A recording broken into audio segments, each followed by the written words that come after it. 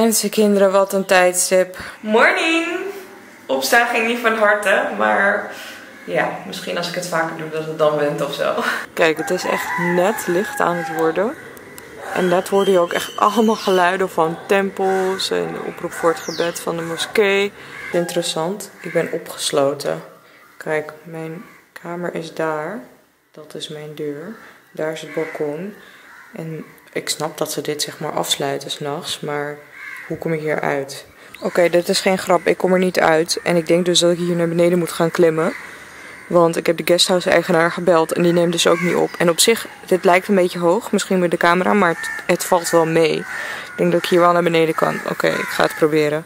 Wauw, ik voel me zo badass. Het is gelukt. Kijk, op zich, het valt wel mee. Het is niet zo heel hoog.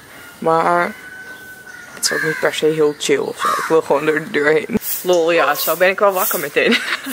Als ik naar beneden moet klimmen. Stel je voor dat je een backpack mee hebt. Dat je moet uitchecken. Of dat je naar het vliegveld. Oké, dan weten ze dat meestal wel van tevoren. Dus dan uh, laat ze de deur vast wel open. Er zal vast wel ergens een sleuteltje liggen of zo. Maar ik had nu gewoon geen tijd. Ik heb nu nog uh, vijf minuutjes om bij, uh, bij Saji te komen. De yoga leraar. En gelukkig is zijn yoga studio echt gewoon om de hoek. We gaan hierin. Oei, kleine steegjes. Oh, ik heb het overleefd. Ik viel vanochtend wel bijna in slaap hoor tijdens de theorie. Maar uh, gelukkig werd ik daarna weer helemaal wakker tijdens de yoga postures en dat soort dingen. Moet je kijken trouwens. Ik heb mijn theorieboek gekregen. En nu gaan we dus zo meteen ontbijten. Maar vanmiddag gaan we dus weer verder met uh, uh, ja, hoe je dus les moet geven. En ook weer allemaal yoga postures doen en zo. Dit is echt zo tof.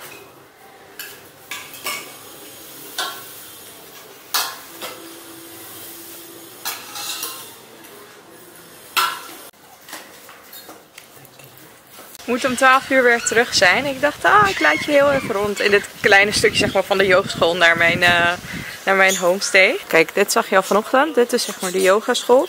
En dan vanuit hier loop je deze kant op. Oh, een man die staat hier in zijn handdoekje. En dan gaan we daar zo meteen het hoekje om, waar die vrouw ook de hoek om gaat. Hier zo. Het is echt misschien twee minuutjes lopen van, uh, van waar ik verblijf, de yogaschool. Kijk, dan komen we hier en dan gaan we weer naar links. Weet je nog dat stuk wat ik liet zien dat dat heel groen is hier? Oh, het is gewoon een heel oud huis of zo. Ik weet niet wat ermee gebeurd is. Maar ja, misschien is het afgebrand of zo. Of in de monsoon helemaal afgeracht of zo. Ik weet niet, maar het staat hier gewoon en het staat er al vrij lang. Want het is dus helemaal overgroeid. Wacht, ik loop even naar die andere kant toe. En kijk, dan loop ik hier rechtdoor. En dan is daar Immanuel Homestay. En deze kant is dus de weg naar de grote straat. Kijk, het is hier helemaal overgroeid. Het lijkt wel een soort van bos en zo. Maar dan als je dus deze kant op loopt... dan is het gewoon een heel oud huis. Dat zag ik ook bij pas een paar dagen later. Dan gaan we nu even terug naar de homestay. Ik heb ongeveer anderhalf uurtje en ik dacht, stop, kan ik even een dutje doen. Kijk, we zijn er weer. En deze trap, het is nu licht. Hier ben ik dus vanochtend vanaf geklommen. Kijk, hier. En dan dit stukje. Het lijkt langer dan het is hoor, wacht. Ik klim even wat meer naar boven. Dit stukje. Van, van hier naar hier. Ik was ontsnapt. En nu staat de deur wel open. La la la la la. En dan kom je dus hier in het gangetje. En dan heb je daar dus dat terras waar ik naar buiten was gaan. Als je het hoekje omgaat, dan kom je weer bij dat stukje. Ai, ai, ai, ik was helemaal vergeten. Omdat ik zeg maar onverwachts langer bleef, hadden zij al een boeking van booking.com in deze kamer. Dus ik moet straks gaan verhuizen. Of tenminste, einde van de dag. Maar ik moet straks ook weer mijn spullen gaan pakken. Oké, eerst maar eens een ditje. Oh nee, ik heb alweer honger.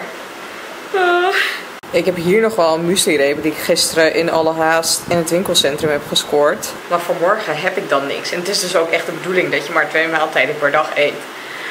En jullie weten hoeveel ik eet. Het eten was trouwens wel super, super, super lekker. Oh man, hoe ga ik dit overleven? Ja, yeah, daar gaan we weer. Ik ben heel benieuwd, want dit duurt dus tot 6 uur. Het is nu pas 12 uur. Ik hoop dat we lekker veel eh, yoga gaan doen. de yoga teacher, die weet wel de praatstoel te vinden, dat moet ik eerlijk zeggen. Hij vertelt echt super interessante dingen hoor, maar na een uur luisteren dan vind ik het toch ook wel heel erg lastig om mijn gedachten erbij te houden. Maar ik ga mijn best doen. We zijn net klaar, het was een zware dag, maar we gaan nu gelukkig weer eten. Roberto zet alles klaar. Eten vanmiddag was trouwens zo freaking lekker. Dit ziet er ook wel weer erg goed uit. Dit is bananencake trouwens. En chapati en ik weet niet wat dit is. Ik weet ook niet wat dat is. Rijst, poedel, uh, sambal-achtig iets. Mm, ik heb vette honger. Ik moest voor twee nachtjes verkassen naar een andere kamer. Uh, nee, ik ben niet blij met deze kamer. Ik ga het je ook niet laten zien. Gelukkig ben ik hier na twee nachtjes weer weg. Internet is ook een beetje cracking, maar op zich maakt dat niet zo heel veel uit. Ik moet zo echt gaan slapen. Het is kwart over negen. Maar ik, ben, ik kan het niet laten om toch eventjes door mijn... Uh, ja, handboek yoga teacher te bladeren. Dit is echt. Oh, oh, trouwens. Vandaag kregen we dus les over dit. Over de asana, sowieso. Dus dat zijn de. Ja, de postures zeg je in het Engels. Hoe zeg je dat in het Nederlands? Gewoon zeg maar de. Uh, ja, de houdingen. De houdingen is denk ik de goede vertaling. Het belangrijkste wat ik vandaag heb geleerd is denk ik dit. Um, ja, wat ik vandaag eet is morgen mijn, uh, mijn lichaam en mijn mind. Dus mijn gedachten. En uh, even kijken. Wat je eet be ja, beïnvloedt je bewustzijn. En um, ja, dat, dat, weet je, dat wist ik al. Maar um, iets weten en iets zeg maar helemaal begrijpen, dat zijn twee verschillende dingen. En ik begrijp hem nu. En um, ja, het zet mij ook wel heel erg aan het nadenken over hoe ik zeg maar mijn eten ga aanpassen. Um, ja, ik weet niet. Wat je eet is wat je bent. En ik ben toch eigenlijk echt wel steeds meer gaan neigen naar, uh, naar plantaardig eten. Dus ik ga eens kijken wat ik daar nog meer mee kan doen wanneer ik, uh, wanneer ik weer in Nederland ben. Want uh, hello, Indian eten is veel te lekker. Daar ga ik nog zeker even van genieten. Een van mijn favoriete houdingen. Ik kan echt urenlang zo blijven liggen. Dit is zo zen. Goed, morgen weer een dagje vol met yoga-avonturen. Wow, kijk nou hoe gaaf. Dit is echt heel cool. Kijk zijn strijkbout. Abonneer als je dat nog niet hebt gedaan. Wel rusten en tot morgen.